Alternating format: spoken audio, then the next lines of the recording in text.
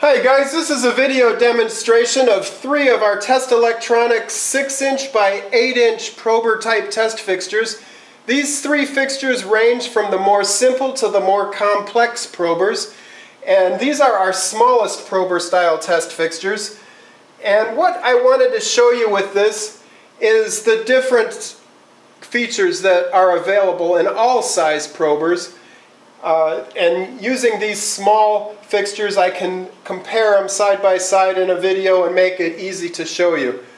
Now this prober here is a single-sided prober, and it, it just probes a board from one side. You just place the board in here, close the lid, and it latches down. To release it, you press this latch, it opens up, and then you can remove the board, put a new board in, and repeat your test over again. Now this, the difference between that one and this one, this is double-sided. It works the same way. You press this lever, it releases the top plate. You can take your board out, put a new board in, and test again. Now the difference between this one is it probes the board from both sides, from the bottom and the top. And the top pins are wired over to these buttons which transfer back down to the bottom. So both sides of this board, top and bottom, are accessible from the electronics that you mount inside this fixture.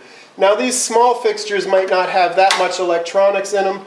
Most of the time they, can, they just are end up being wired out on a connector on this back panel here. Now the difference between this fixture and this fixture, which is one step up, is there's just a lot more test pins on this fixture.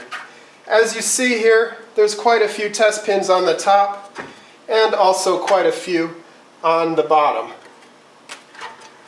right here. So what, what we do is we have this lever latch mechanism that multiplies the force 50 to 1 so that your test technician isn't pressing so hard on this fixture lid to close it all day long. Now this still has the same kind of release here, so if for some reason the fixture jams up, and doesn't open with just the use of the lever latch like this, you can press this button and that will also release it. So that's a basic overview of how these fixtures work. Now let me take the most complicated one and show you a little bit about the insides of this fixture. We can take off the bottom plate and I can show you what's inside there and how you would wire to it uh, either wiring out to the back panel or wiring up to circuit boards you might want to mount inside the fixture. Now in these little 6x8 fixtures there's not that much room to mount too much but you can mount a little circuit board in there and wire off to it and then a connector in this back panel. Now this is a plate that comes out. Uh, they, they remove two screws for me as you can see. I'll remove the other two and show you just what this little plate looks like. Now you just uh, take these two screws out, the plate drops right out the bottom and you can take it out. Now here you can mount connectors, uh, drill holes for banana jacks or BNCs or punch out D connectors. Whatever you want to mount in this you can. And the front plate is exactly the same as this back plate. And to put it back in, you simply put it right in just like this and put your screw in. Now there's four more screws, but I won't put those in on the video. So, but that's basically how these fixtures come, come apart, get put back together.